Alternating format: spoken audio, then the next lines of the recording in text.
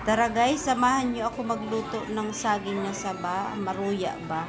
Ayan, nagluto, nagprito tayo ng saba para may merienda si Chikadora. Request si Chikadora.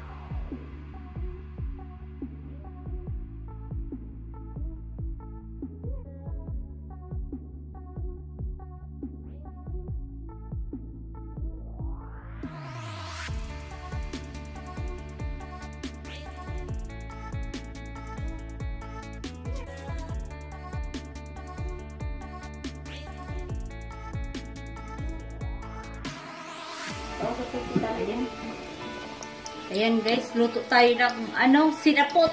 Sinapot ng bikol. Ayan, maruya ng bikol.